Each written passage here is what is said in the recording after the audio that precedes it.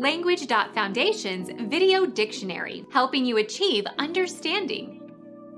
The act of changing something into something different in essential characteristics. Become our student and get access to effective and free educational materials.